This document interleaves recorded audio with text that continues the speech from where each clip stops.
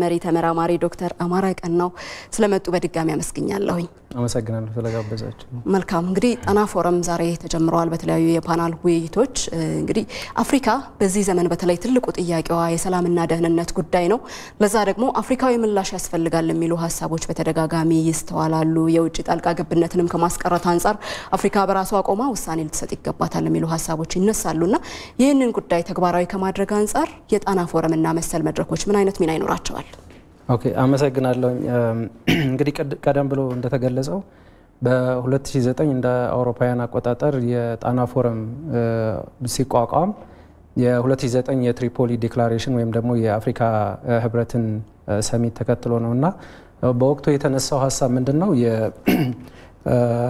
sustainable የሆነ ወይም peace ወይም ዘላቂ የሆነ ሰላም ለአፍሪካ ለማምጣት ሲባል የአፍሪካ መሪዎች ትሪፖሊ ላይ ተሰባስበው ይህንን ሀሳብ መነሻ አድርገው ነበርና ጣና ፎረምም ከዛ በኋላ ሲቋቋም እንግዲህ እነዚህን ነገሮች ወደ መሬት ለማውረድ ምን ምን አይነት mechanism ኦችን መጠቀም አለብን ሲባል ጣና ፎረም እንደ አንድ ወደ ህዝብ መድረሻ መንገድና እነዚህን ከግጭት ነፃ የሆነ አፍሪካ ዘላቂ ሰላም የሰፈነበት አፍሪካን ለማስፈን ሲባል እንደዚህ አይነት መድረኮች ያስፈልጉ ነበርና ሰው ይህንን ወደ መሬት ለማውረድ ሲባል ይሄ ፎረም ሊቋቋም ችሏል። ስለዚህ እንደዚህ አይነት ፎረሞች እንግዲህ ምናልባት በሌላውም ዓለም እንደምናውቀው እንደ ሙኒክ security forum ይባላል ተመሳሳይ የሆኑ ፎረሞች ናቸው። እነዚህ ፎረሞች እንግዲህ consultative የሆኑ meeting ኦች ናቸው ወይም ፎረሞች ናቸው። consultative meeting በምንልበት ሰዓት እንግዲህ ምናልባት በአንድ ወቅት በ policy making decision making process ውስጥ ያለፉ ሰዎች ፕሬዚዳንቶች፣ የቀድሞ ፕሬዚዳንቶች እንደዚሁም በሀገር መሪነት ሲያገለግሉ የነበሩ ሰዎች ከዛ ባለፈ ደግሞ በዚህ በሰላምና ደህንነት ሙያ የሰለጠኑ ሰዎች፣ ተመራማሪዎች ተገናኝተው በዚህ ለአፍሪካ ሰላምና ደህንነትን ለማምጣት የሚመክሩበት አይነት ፎረም ነው እና ምናልባት እንግዲህ ቅድም አንቺ እንዳነሳሽው ይህንን ነገር ወደ መሬት ለማውረድ ሲባል እንደዚህ አይነት ፎረሞች በጣም አስፈላጊ ናቸው። ስለዚህ ጣና ፎረምም እንግዲህ አሁን ለአስረኛ ጊዜ ነው እየተካሄደ ያለው። በተለያየ ጊዜ የተለያየ መሪ ቃሎችን ይዞ ነው የሚሄደው። ግን ዋናው እንትኑ ምንድን ነው? ከግጭት ወይም ደግሞ ከጦርነት ነፃ የሆነ አፍሪካን መገንባትና ዘላቂ ሰላም የሰፈነበት አፍሪካን ማየት ነው ዋናው ነገር። ስለዚህ በተለያየ ጊዜ የደህንነት ችግሮች እንግዲህ ብዙ ጊዜ በየጊዜው ይለያያሉ። በጣም dynamic ናቸው እና ጊዜውን መሰረት ያደረገ የደህንነት ችግሮችን ዲዛይን በማድረግ ለነዚህ ቁልፍ የሆነ solution ወይም ደግሞ መፍትሄ ለማፈላለግ ሲባል የሚደረጉ ፎረሞች በመሆናቸው ከፍተኛ የሆነ አስተዋጽኦ አላቸው ብዬ አስባለሁ እና ከዛ አንጻር የጣና ፎረምም እንደዚህ አይነት ችግሮችን በመለየትና ለአፍሪካዊ ችግር አፍሪካዊ የሆነ መፍትሄ በመሻት ረገድ ከፍተኛ የሆነ ሚና እየተጫወተ ነው ማለት ያስደፍራል እና ከዛ አንጻር ነው ልመለከተው የሚችለው ሰው በጣም እጅግ የሆነ contribution አለው ወይም አስተዋጽኦ አለው ብዬ አስባለሁኝ። እውነት ነው። እንግዲህ የአፍሪካን ችግር በአፍሪካውያን መፍታትን ታሳቢ በማድረግ ነው ይህ የጣና ፎረም በየዓመቱ ሲካሄድ የነበረው። ዘንድሮም ይህንኑ ታሳቢ በማድረግ በተለይ በአፍሪካ ሰላምና ደህንነትን ማረጋገጥ በሚቻልባቸው መንገዶች ላይ ተጨማሪ ሀሳቦች የሚነሱበት ጉባኤ ነው የሚሆነው።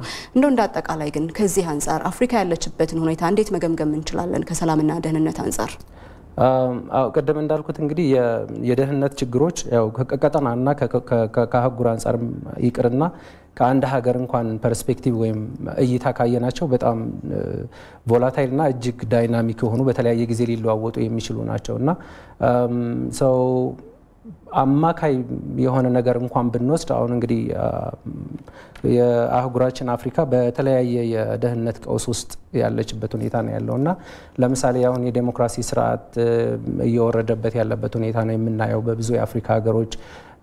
ይህ ህገ መንግስታዊ የሆኑ የመንግስት ለውጦችን በተለያዩ የአፍሪካ ሀገሮች እንመለከታለን። ከዛ ባለፈ ደግሞ ይህ ወታደራዊ የሆኑ የደህንነት ስጋቶች እንደዚሁ እየተበራከቱ የመጡበት ሁኔታ ነው የሚታየው። ሌሎችም አሁን ከክላይሜት ጋር ተያይዞ የሚመጡ የደህንነት ችግሮችም አሉ እና ሰው ከዛ አንጻር እነዚህን ችግሮች ነቅሶ በማውጣትና በመነጋገር ወቅታዊ የሆነ መፍትሄ ወይም ደግሞ ጊዜያዊ የሆነ መፍትሄ በመሻት ረገድ ዘላቂ የሆነ ሰላምን ለማስፈን በእነዚህ ጉዳዮች ላይ መነጋገር እጅግ አስፈላጊ ነው ብዬ አስባለሁ እና ሰው የአፍሪካ የአፍሪካን አሁን የደህንነት ሁኔታ በአማካይ ከተመለከትነው ቅድም እንዳነሳነው ከፍተኛ የሆነ crisis የምናይባቸው ለምሳሌ አሁን የመፈንቅለ መንግስት የሚካሄድባቸው አካባቢዎች አሉ። like like ባለፈው በቅርብ ጊዜ እንደተመለከትነው በማሊ፣ ቡርኪና ፋሶ እንደዚህ የመሳሰሉ ሀገራት በቅርብ በዚህ በመፈንቅለ መንግስት የተመቱና ይህ ይህ ህገ መንግስታዊ የሆነ የመንግስት ለውጥ እያሳዩ የመጡ ሀገሮች ናቸው። እና so እነዚህ ወደ ሌሎቹ የአፍሪካ ሀገራት ከመዛመታቸው በፊት እነዚህ በ policy making circle ውስጥ ያለፉ ሰዎች እና በ area ው ላይ የተመራመሩ ሰዎች በጣም ለችግሩ ዘላቂ የሆነ መፍትሄ መፈለግ አስፈላጊ በመሆኑ so እንደዚህ አይነት ፎረሞች እጅግ አስፈላጊ ናቸው ብዬ አስባለሁ። ከዚሁ ጋር ተያይዞ ምናልባት ዶክተር የመውጫ ጥያቄ እናድርገው ባጭሩ እንመልሰው። የኢትዮጵያን ገጽታ ከመገንባት አንጻር በተለይ ኢትዮጵያ ሚናዋን ምን ያህል እየተወጣች ነው የሚለውም ነገር አንዱ ማሳያ ነው። ጣና ፎረም የፓን አፍሪካኒዝም መስራች ናት ኢትዮጵያና አሁንም አፍሪካዊ ወንድማማችነት እንዲጠናከር የራሷን አበርክቶ እየተወጣች እንደሆነ ይታመናል። ከዚህ አንጻር ጣና ፎረም ምንን ያመላክታል?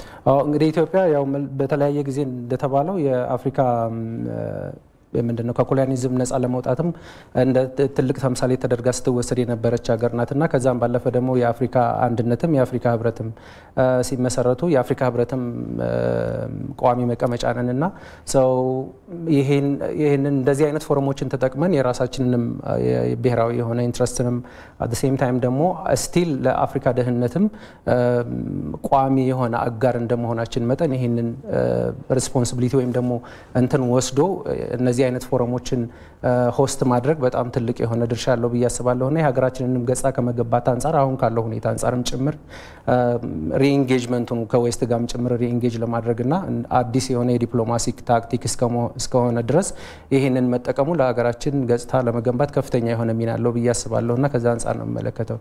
በውጭ ጉዳይ ኢንስቲትዩት መሪ ተመራማሪ ዶክተር አማራ ቀናው ስለሰጡን ማብራሪያ እናመሰግናለን። አመሰግናለሁ።